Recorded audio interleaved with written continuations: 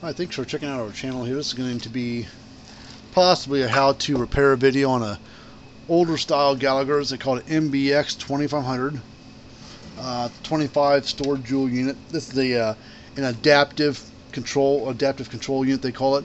it means it, it adapts its output based on the load it feels hooked up to it.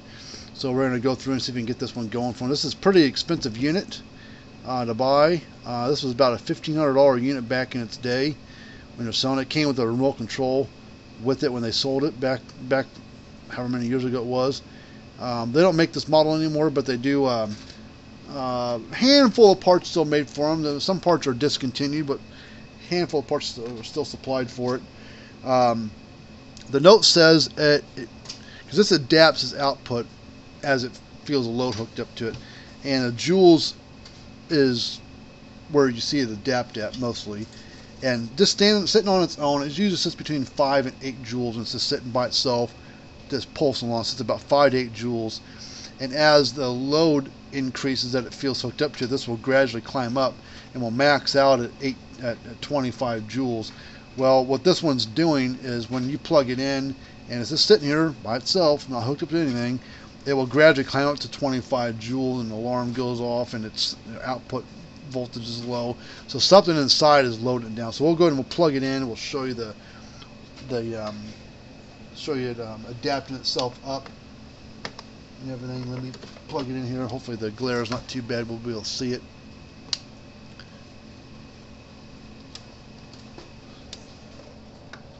So you can see the uh, top number there's it's climbing up. See, it's 13, 15, 20, 23.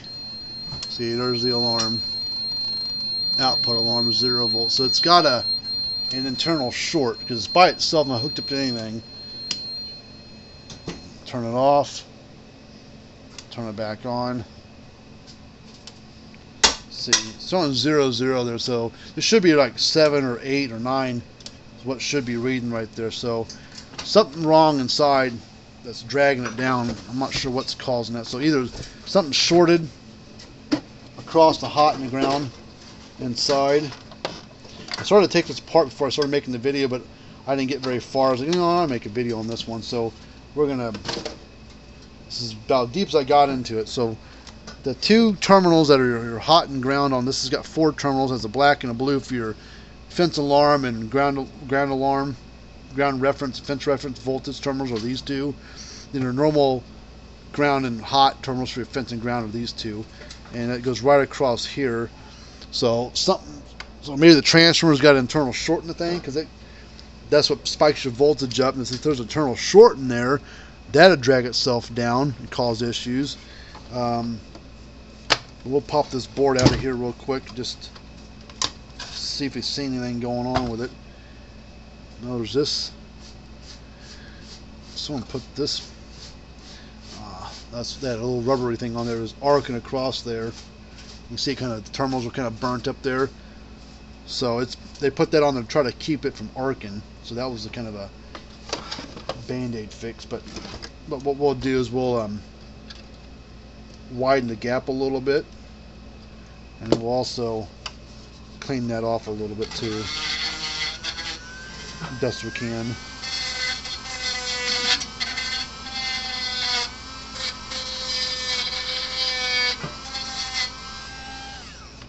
So either the transformer's got a problem or something in our lightning protection circuit right here has got a problem because that's what all this stuff is for. Is for lightning protection on the output side. So let's um, let's first try the transformer first. It's gotten hot or something's been arcing on it. It's got a has some like a coating right here. This board's been changed at one point in time because it's a 2007 model, but the board's a 2018, so the board's been changed at some point in time. Let's um, grab a transformer real quick. Okay, I've got a transformer here. This is not it's physically the right size for put in there, but it's, it's not the right transformer. But it will physically work for testing wise. If I need to get a transformer for it, I'll have to order one in. So we're going to plug this transformer in. It goes in a certain way.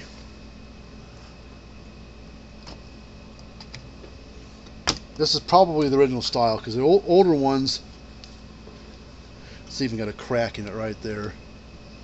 Running across. So this probably got hit by lightning. This little area here, that's the old style. Oh, this is the new style. They've got like a spark gap created in there for fence and ground for the for lightning to jump across. But see, when it went through there and hit that thing at some point in time, it probably hit the transformer. That's what this big crack's from. So that transformer even if it wasn't loaded down and shortened thing out, uh, it needs to be replaced. So let's take this board, lift it back up, get out of the way. Take this ribbon cord cable thing here and plug it into the board right there.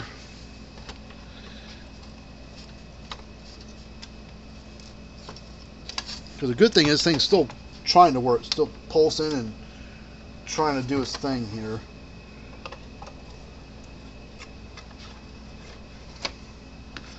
So we'll uh, push the board into little slots right there. Grab this case, it's got that little circuit board here. We got to plug this ribbon cable thing back into it. Because It won't run right without it. This is your, this is a dual powered 12 volt unit as well. And that's what this cable is for.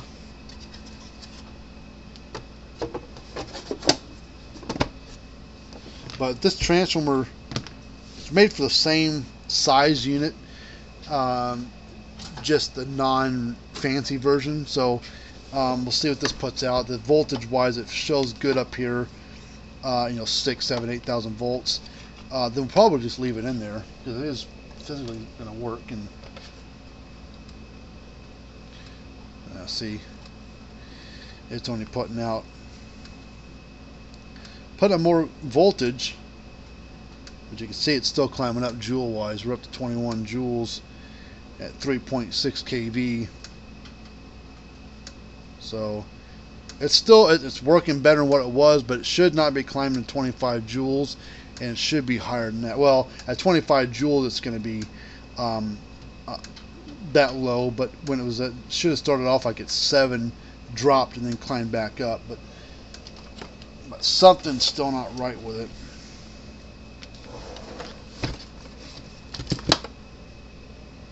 Something's still loaded down inside there, so it's probably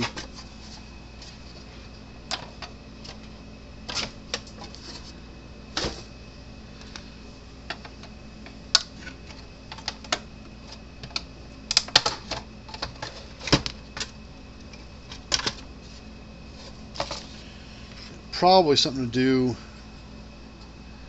with these things right here and I don't know what size those are.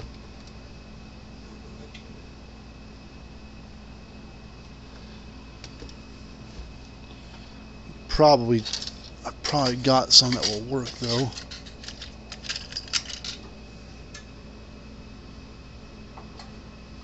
These are similar number. Let me look at the number on it. Color doesn't really matter as long as the number because some are red, some are orange, some are blue. But the uh,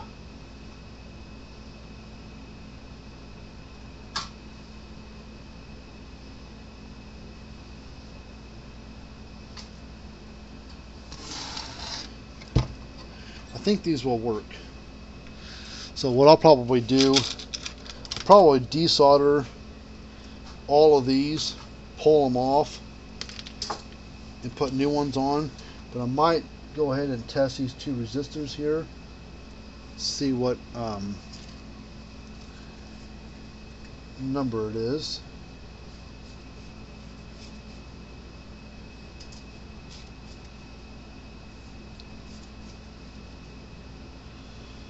It's like 150 k ohm resistor. So let's test those two resistors there and see what it reads. If they read shorted, then really low ohms, then we know that might be more problem. You know, 141. 141. So resistors are fine. We can test a few, like we test these diodes, make sure they're not shorted.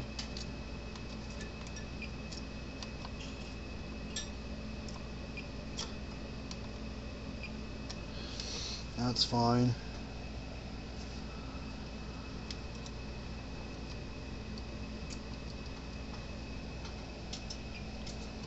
That's good. And all the diodes are good. So I imagine it has something to do with these right here. Because it is on to put power out. But the um, uh, but something's loading it down. It's probably these things right here. So that's what I'll do. I'll uh, go through and uh, change all these out and retry it. Uh, if that doesn't fix it, you know, there's more wrong than I can probably figure out with it. It's got a lot of a lot of um, fancy stuff with it because it is a adaptive control unit. They got a lot of sensors on it and stuff like that that do different things. And I'm not a wizard at this uh, electronics. If I can do some things with it because that's what we what we do. But uh, some of these bigger, fancier ones, you you know, unless you know, unless you got a schematic for which I don't, you're kind of um, at a guessing game for it. So, I mean, even this could be shorted out. Possibly this um, coil right there, or maybe one of these coils is shorted. I don't know. And then the big capacitors are swelled up, so those are probably fine. So that's what I'm going to do. I'm going to change out all these, plug it back in, and try it out. So if that works, great. Not, at the um, find another board for them, and then have to just start from scratch again. But anyways, uh, that's it for this video. But if you got one of these old Gallagher units like this, this big fancy ones like this, or any other brand or model, happy to help you out. Welcome send something in to us. We take a look at it for you. Give uh, free quotes and uh, 18 month warranties on the repairs that we do. Until next time, see you later.